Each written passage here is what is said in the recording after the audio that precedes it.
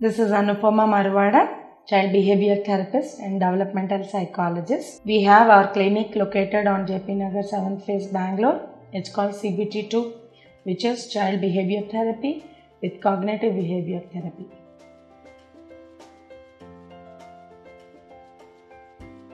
Harvard Medical School has conducted several studies on people walking in with anger issues and they found that adolescents who walk in, at least 8% of them are diagnosed with lifetime anger disorders.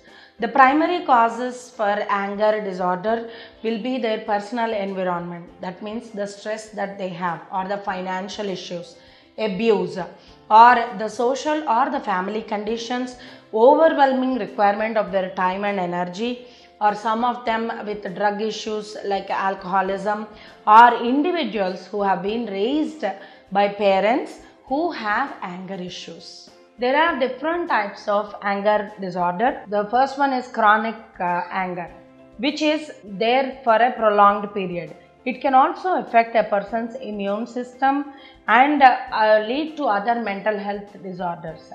Next one is passive aggression.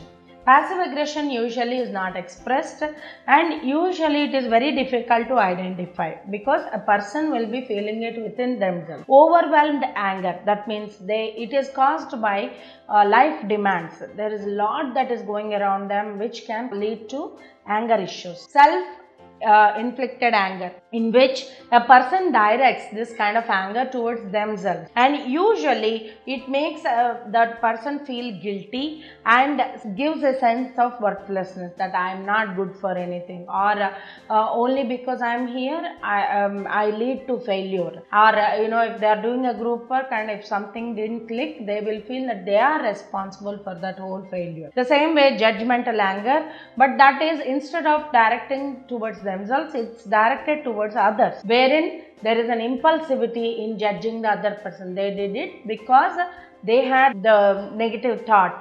So based on that uh, assessment the person reacts very negatively towards the other person. And the last one is volatile anger where we see impulsive anger with violent reactions